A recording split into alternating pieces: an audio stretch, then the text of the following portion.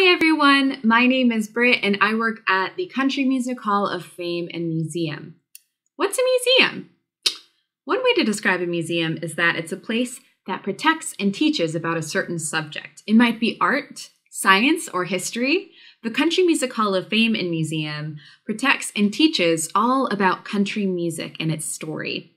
So if you come visit us, you can see all kinds of cool artifacts or special objects like instruments, stage costumes, and even cars. Well, today we are going to explore one man, one artist who's really important to the country music story. You might have heard of him Shel Silverstein. You might have even read some of his books, like The Giving Tree or Where the Sidewalk Ends. That's right, Shel Silverstein is an author, was an author. He wrote books. He was also an illustrator. He drew pictures for his books. But did you know that Shel Silverstein was also a songwriter? In fact, he was really important to country music songwriting. He wrote folk and country songs, and he even wrote with artists like Johnny Cash, Bobby Bare, and Waylon Jennings. Today, we're going to read a few of my favorite Shel Silverstein poems from the book A Light in the Attic, and then we'll do a draw along and learn to draw one of his illustrations. A Light in the Attic. There's a light on in the attic, though the house is dark and shuttered. I can see a flickering flutter, and I know what it's about. There's a light on in the attic.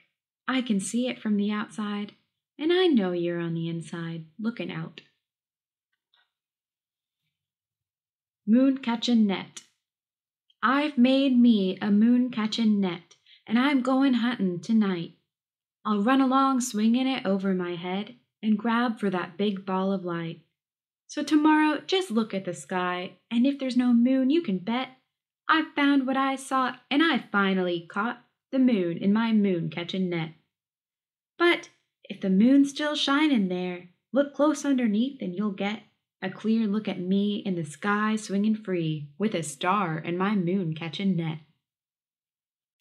Mr. Smeds and Mr. Spats. Mr. Spats had 21 hats, and none of them were the same. And Mr. Smeds had 21 heads, and only one hat to his name. Now, when Mr. Smeds met Mr. Spats, they talked of the buying and selling of hats. And Mr. Spats bought Mr. Smeds' hat. Did you ever hear anything crazier than that? Rock and Roll Band. If we were a rock and roll band, we'd travel all over the land. We'd play and we'd sing and wear spangly things if we were a rock and roll band. If we were a rock and roll band and we were up there on the stand, the people would hear us and love us and cheer us. Hooray for that rock and roll band! If we were a rock and roll band, then we'd have a million fans. We'd giggle and laugh and sign autographs if we were a rock and roll band. If we were a rock and roll band, the people would all kiss our hands. We'd be millionaires and have extra long hair if we were a rock and roll band.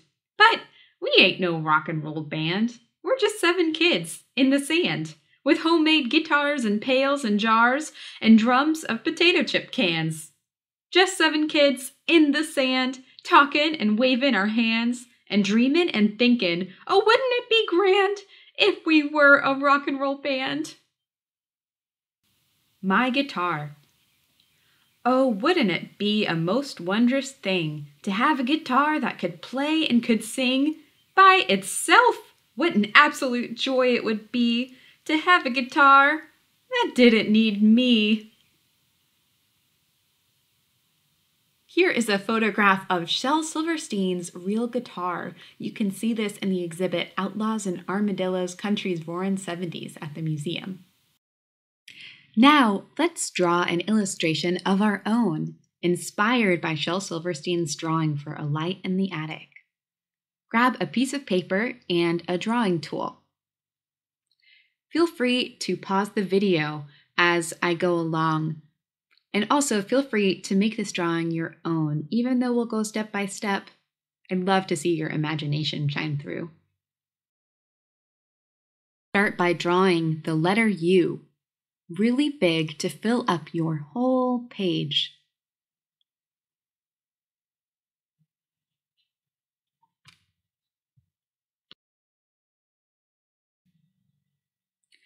Now, draw an upside down letter V or a big arrow for the roof on top of the head.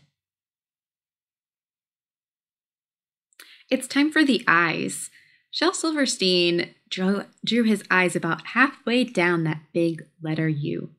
Let's make two dots in the middle.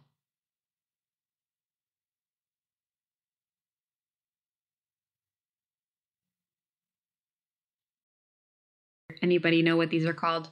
The pupils. I want to draw a big circle around those dots to make the whites of your eyes. Maybe maybe you have expressive eyes or maybe you have one eye or eight eyes in your face. Use your imagination. To draw the nose, draw a little letter U.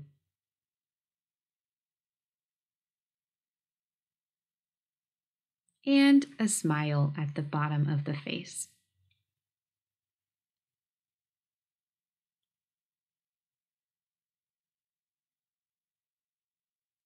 We need ears.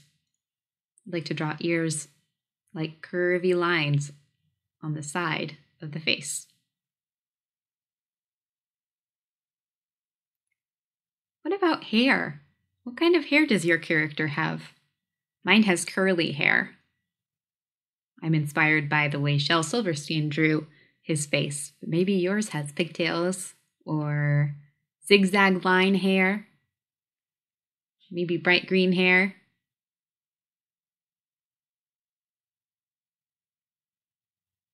And just fill in on the side of the face.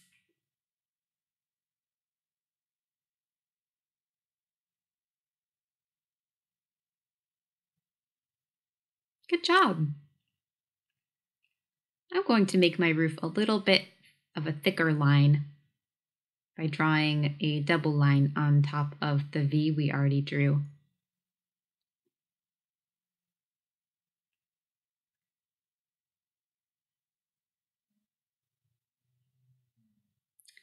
Now, remember in the poem about the light in the attic?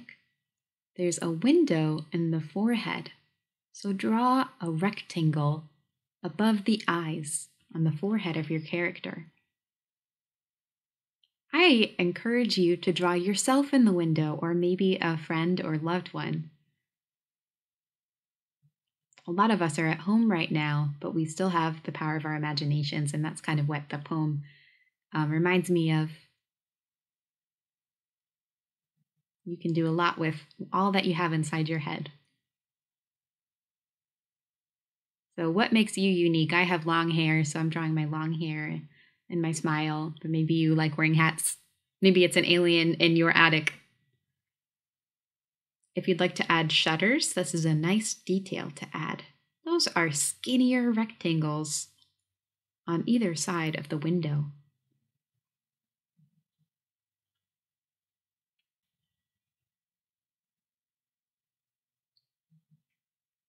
Shel Silverstein drew these squiggly lines, kind of not not quite straight, not quite wiggly. In the roof part of this character, those could be shingles or siding on your house. He draws a lot of them at the top, and then we're going to space them out a little bit more as we move down the face. Maybe your house is made of bricks or something different than siding. Feel free to draw that instead. Going to do a little chimney there, drawing those three lines. You may have noticed that Shel Silverstein likes to draw a lot of dots. He adds value with these dots, and we can call these dots stippling. So I'm going to add some stippling or dots around the eyes, around the nose, around the mouth, and scatter some dots around the face to make it darker in areas where I want it to be darker. Be inside your ears. You might see shadows inside people's ears. That's a good place to add stippling.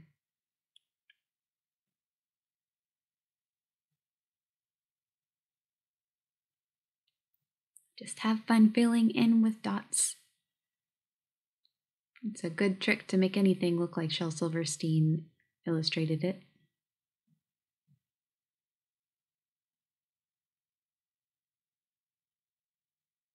There you go. Great job.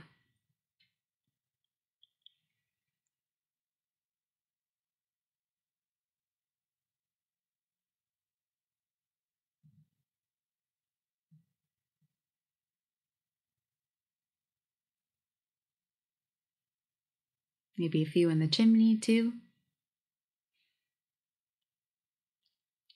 What would you like in the sky behind your face or in the background? I'm going to draw stars, make it a night sky. I love that poem about the moon catching net.